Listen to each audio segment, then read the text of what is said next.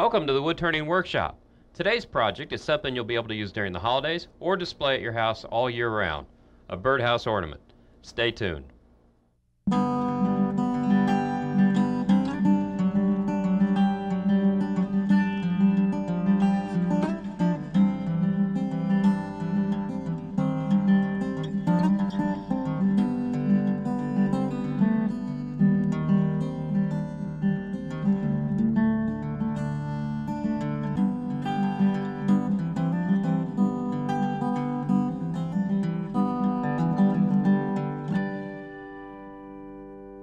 Today is going to be a great show because making a birdhouse ornament is one of my favorite things to do. And it's because of all the special little touches and design work that makes each one of these unique.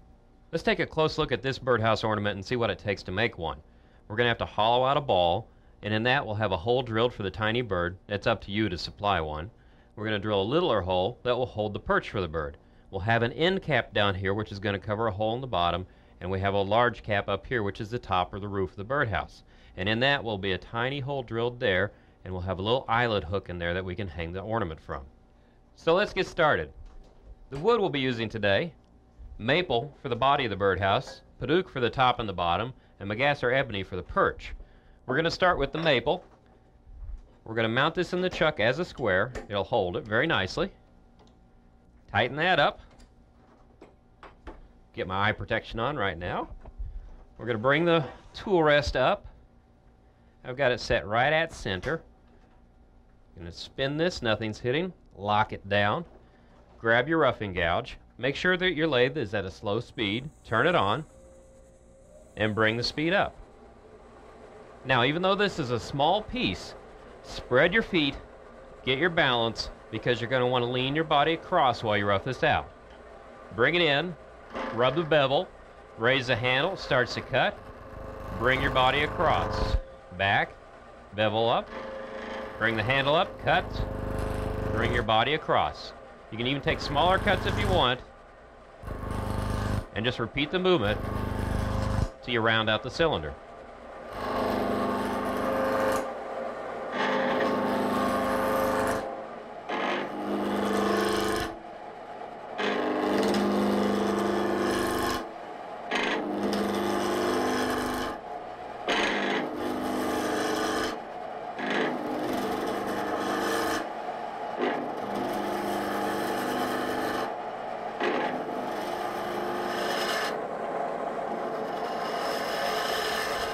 Let's see how we're doing.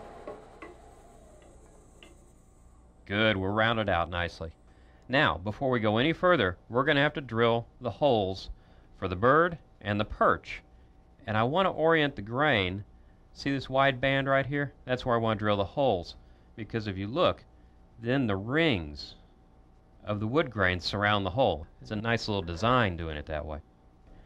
So I'm going to put this up here and probably I want the hole for the bird to go right there. So we'll drill that hole first and then figure out where we're going to orient the perch. Now I'm using a punch because this is a rounded surface and I don't want the bit to wander as I'm drilling the hole. Next step, lock in the spindle so this won't turn while you're doing the drilling. And bring your tool rest back out of the way. You can use it as a rest to kind of guide your hand and steady you up. I've got a 3 8 inch drill bit in here and I want to make sure I'm going in straight for the angle I need it, and I'm going to drill to the center of the blank.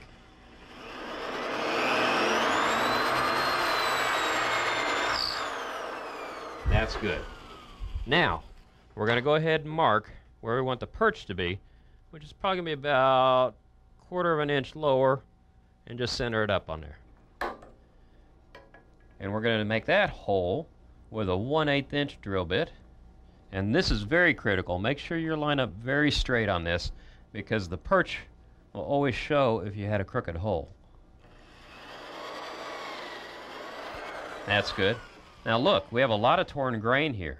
That's why we haven't shaped this yet, because we can turn all of that away now. While we're drilling, we might as well go ahead and drill the hole in the center of the blank. That will help us hollow things out in a minute. So we're going to start with our skew chisel, bring our tool rest up, Got to make sure that we unlock the spindle so it'll run freely.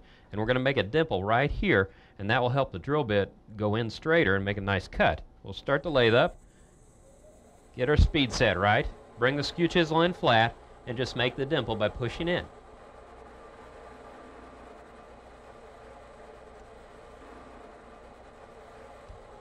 Reduce the speed of the lathe a little bit. We don't want to burn the wood. Lock the tailstock in and slowly advance the drill bit. Then bring it back out so we can clear the chips out. and take it back in again. And then we're going to continue this until we drill all the way through the blank. We want a hole in the top and the bottom of the ornament. Now's the time that you can let your imagination run wild because we're going to shape the birdhouse. Do any design you want, just keep in mind a couple of things. One, you're going to have to hollow it because you have to lighten up the ornament enough so you can hang it. The other thing is, is that whatever design or shape you make the body of the birdhouse will affect the top and the bottom that you create also. And as we're turning wood away, we want to turn away enough to get rid of the torn grain from the drilling. So we're going to start with our spindle gouge. We're going to start by making a gentle bead shape.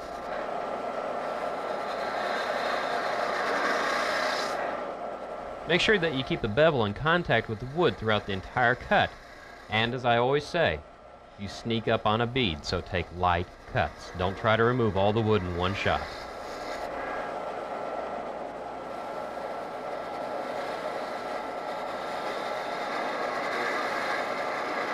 And roll the tool as you reach the end of the work.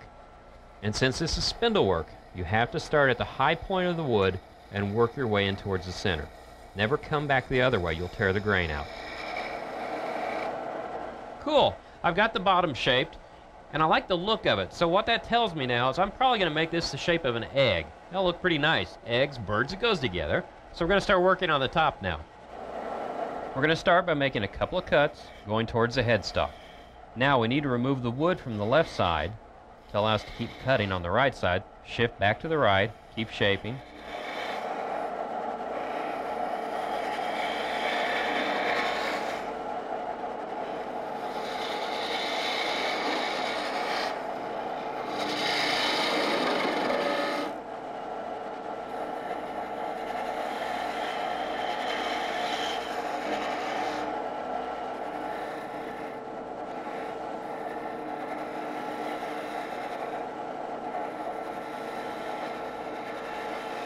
Now we don't want to take this all the way down to where we're going to part it off. We need to leave enough wood there to give us strength and stability while we're hollowing. Now before we hollow this out, we need to sand because once it's hollowed out, we could build up too much heat and crack the wood. And now's the time you can actually refine your shape. If you have any tool marks or if you don't like a curve, use this 150 grit and you can reshape the surface a little bit. I went ahead and sanded all the way up to 600 grit because I decided I want my ornament to have a shiny surface. And we're going to do that by using a friction polish. Now normally when you're turning, like I said earlier, heat is your enemy. But this time it's your friend. Because with friction polish, you have to build up enough heat to get the finish to melt in. I'll show you. You start your lathe and bring the speed up really fast, about 2,000 RPM. And now we're going to touch the polish to the wood and it'll melt in and give us a high gloss finish. Press into the wood and you'll feel the heat build up and move the towel quickly to avoid any buildup of the finish. Then switch the paper towel around to a clean side and buff the finish to a high shine.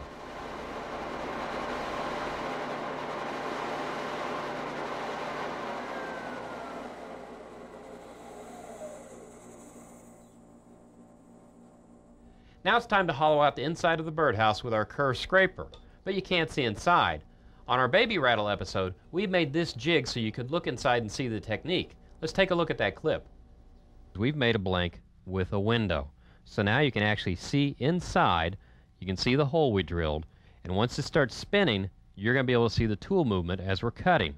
And the tool we're going to be using is a small curved scraper. When you use this tool, make sure that you rest the straight part of the shaft on the tool rest, not the curved part. If you rest the curved part, it's going to want to turn on you. If it's on the straight part, you'll have good balance and good support. The other thing is make sure that the tool rest is up a little bit to where the tip is just slightly above center because when you raise this tip up is when the cutting starts. Let's see how this works.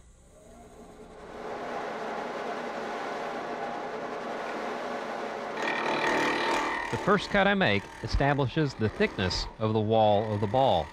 I make a plunge cut. Then I can bring the tool back out, feel for that shelf, and make another cut. I work my way down in steps. I'm not hollowing the ball to finish thickness right off the bat. If the tool stops cutting, just slightly rotate the tip up and that's when it will engage. So to be safe, rotate the tip down, it won't cut. Rotate the tip up and it does cut.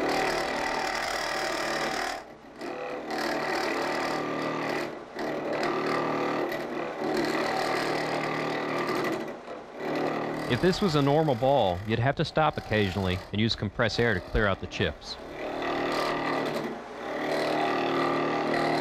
Now you might notice the tool's not cutting very well, and that's because it's a scraper. Their edges don't last very long. But this tool is special. Rather than take it to the grinder to get a new edge on it, we have to do something different. If you look at this scraper, it has a very specific design behind it. It's a round piece of steel that curves, and then this is flattened off, and that's the cutting edge. It's one piece. If you notice, this shaft is perfectly in line with the tip. If I was to take this to the grinder like I normally do and start grinding away at the tip, I would shorten the tip. That would be bad because I'd run out of cutting steel to begin with. But the other thing is, I'd be moving the tip further and further back. It would not be in line with the shaft anymore, which would cause instability when I started turning. It'd be very hard to hold this steady. What I have to do is take a diamond file, and with that diamond file, I lay it flat on the blade and go across. I have to make very sure that I'm doing a very, very flat movement here because I don't want to round off the edges. Now, that won't leave a burr. If you do want one, take your file and lightly dress the sides by pushing and stroking upwards. That will raise a burr. It won't last very long, but it will make a very nice clean cut. But you can still cut with just the sharp edge. There, that's cutting much better. We'll just take light cuts to finish up the bottom, then go back up to the top. Again, it's like a plunge cut. We make a shelf. And that shelf helps us find the next cut. And then that shell helps us find the next cut.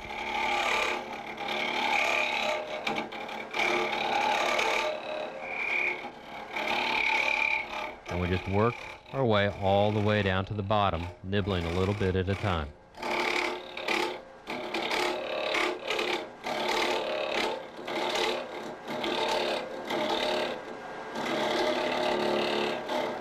Now when you think you have the wall about the way you want it, you can pull the tool back and forth and clean up the inside of the ball.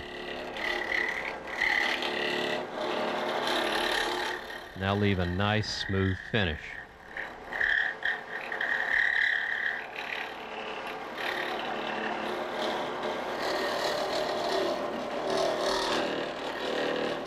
When you're hollowing something like this, it's always safer to stop the lathe before you remove the tool. It'll prevent a catch. Now this looks a little bit messy, and that's because I only had half the ball there, so some of the wood tore out. Now you have an idea on how to do the hollowing, and the only difference between that example and our project is this is an elongated shape rather than a circle, and that's not a big deal. The other thing, though, is we have holes drilled in this, so you can't be as aggressive taking the wood out or you'll start to chip it.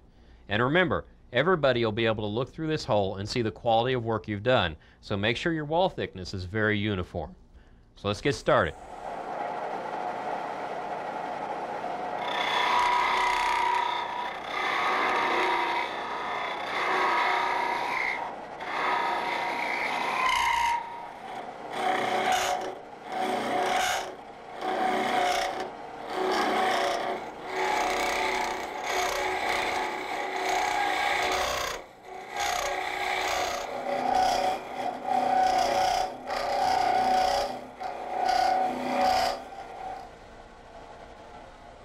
stop the lathe, And when you're hollowing with a hook tool in a small area like this, leave the tool in while you stop the machine. It's a little bit safer. Now I'm looking through the hole. I have a little more wood to take out right here. I can see it's a little bit thick. Other thing I want to do, take the tool in, find out how deep I am, and measure. Look over here. I've got about an eighth of an inch more to take off. I'm going to put the tool back in, rotate the piece so it's not touching, and turn the lathe back on and continue cutting.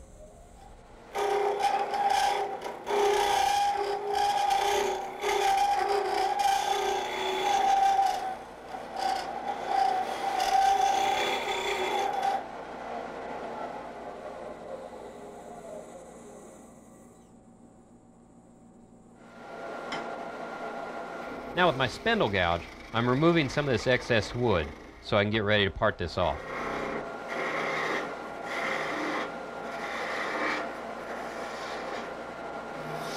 Now I could go ahead and part this all the way off with my spindle gouge, but there's a chance I could jam the tool into my hand while I'm catching the birdhouse. So a parting tool is a much safer way of doing this. I'm not worried about having a perfect surface on the top of the birdhouse because the roof is going to cover it. Now it's time to turn the perch for the birdhouse. I've got a scrap piece of Macassar ebony, and I can put it on the inside part of my jaws and grab it firmly, like so. We'll bring the tool rest up, get it really close when you're doing small spindle work. Rotates, it's not hitting it, and we're going to grab a small spindle gouge and start making the perch. All we're going to do is start making a straight cylinder. We're going to taper the end and see if it fits the hole we drilled in the birdhouse. Once it fits, then we can go ahead and turn the perch to any shape we want.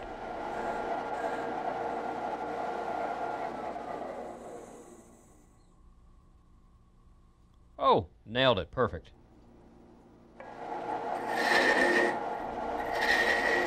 We're going to make a bead on the end and you really have to sneak up carefully on something this small. Just take little bits of wood off.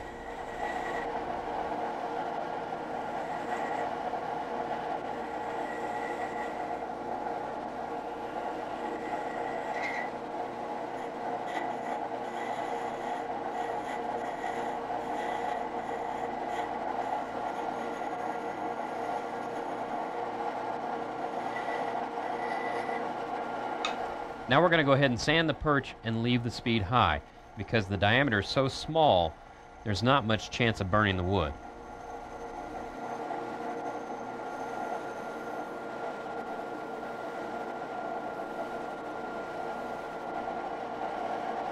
Now apply the friction polish, work it in good, get a nice shiny finish.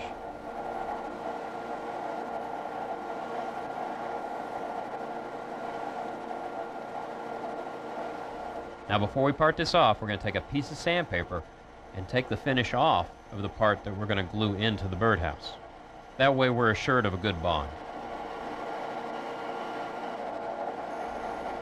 This piece is so small I can use my spindle gouge safely to part it off. Just don't drop it. You'll lose it the second it hits the floor.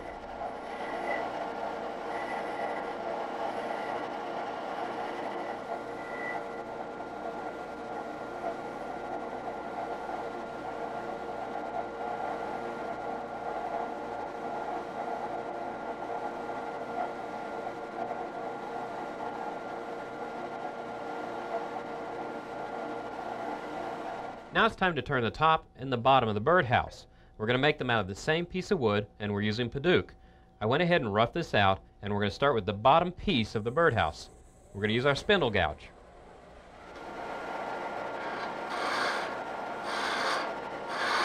Again, use your imagination, make any shape you want. Just keep in mind this should complement the shape of your birdhouse.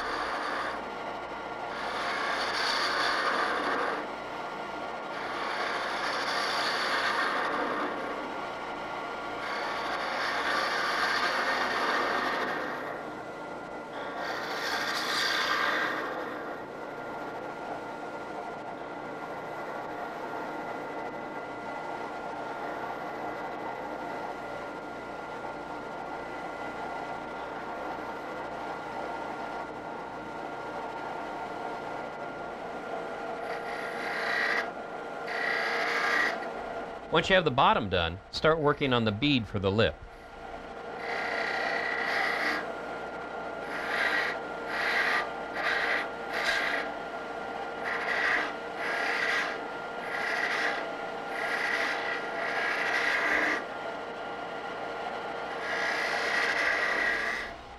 There. Now the next thing we want to do, grab our calipers, get the inside diameter of the hole we drilled through the bottom. We're going to take that and using our parting tool, we're going to transfer that diameter down there and make a tenon that will go in the hole.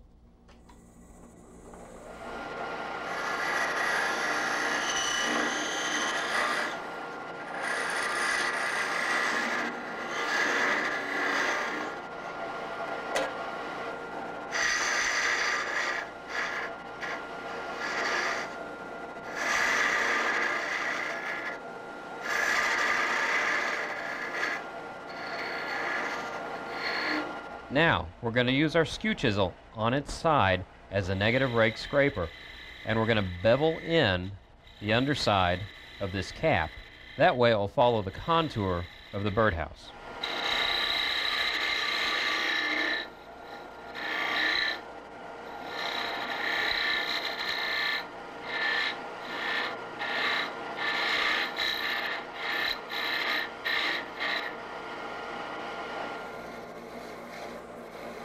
Now we're going to sand and work our way all the way through 600 grit.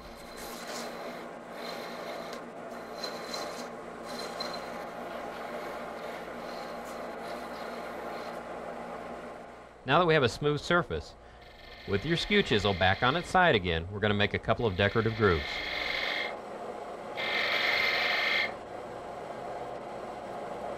Now lightly touch up the surface again with a piece of sandpaper and apply the friction polish.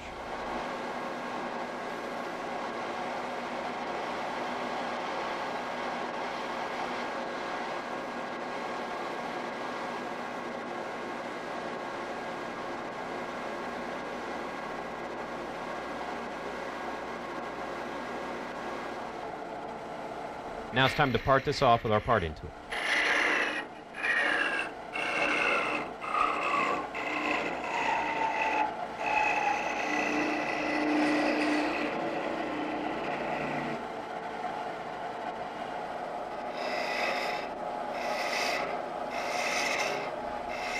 Now it's time to turn the top, and it's the exact same procedure as the bottom. The only difference is, it's a little bit larger.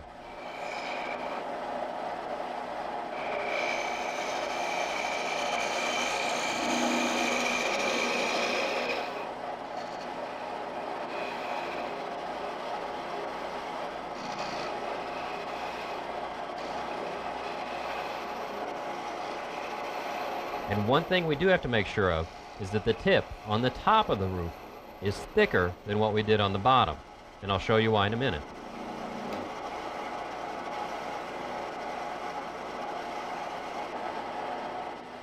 With your skew chisel on its side, make a dimple in the tip of the roof.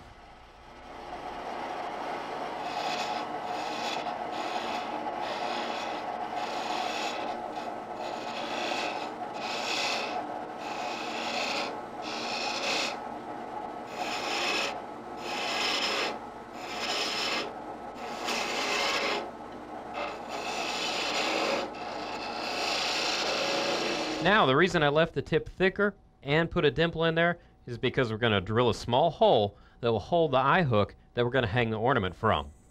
Start the lathe up. You're going to center the bit up on the hole and just press in.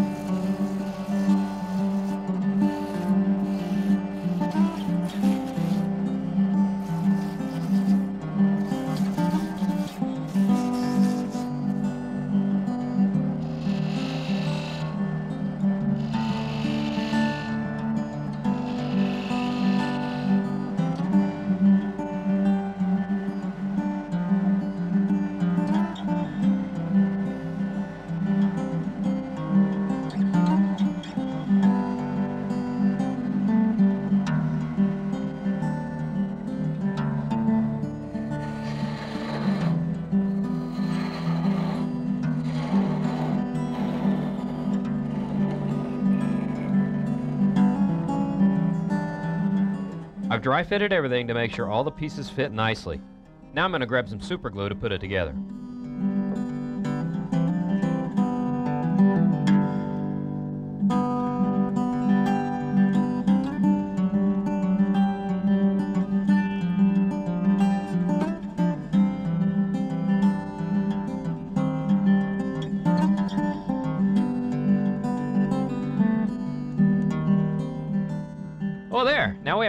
We can use year round or at Christmas time.